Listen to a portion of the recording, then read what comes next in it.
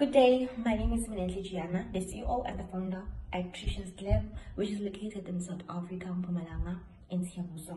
It is a developing business which specializes with makeup that brings quality and ensures that our clients' confidence is boosted because we care about their beauty. The kind of makeup that we do are nude, high definition, matte and dewy makeup look the object, the vision of this business is to empower people to be confident with themselves and feel beautiful regardless of their skin type, tone, and styles. It is to promote diversity and inclusivity within the beauty industry. Our mission is to provide exceptional customer service and education, ensuring that our clients feel valued and supported in their makeup journey. We aim to create high quality and innovative tutorials to clients who see a need to learn how to make up. Our goal is to inspire and empower people to embrace themselves and feel beautiful inside and outside. Our objectives is to create job opportunities, to create a profitable business that meets the needs of targeted customers, staying up to date with the latest trends and technologies, grow a loyal customer base through excellent services.